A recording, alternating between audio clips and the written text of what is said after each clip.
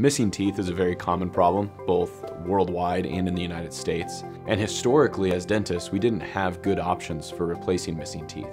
You were kind of relegated to either replacing it with something removable, something that came in and out, which most patients find either annoying or just intolerable. And also it puts wear and tear on the the teeth and the structures that have to support it.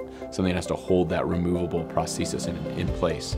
With dental implants, now we can anchor something down into the bone that actually mimics the root of the tooth. And what's really important about that is, is after we extract a tooth, we know that over time, the bone that was holding that tooth in place has a tendency in almost all people to, to go away. Uh, we lose the width um, and the height of the bone. The volume of the bone decreases over time. So when we replace a missing tooth with a dental implant, now we're placing this implant down into the bone.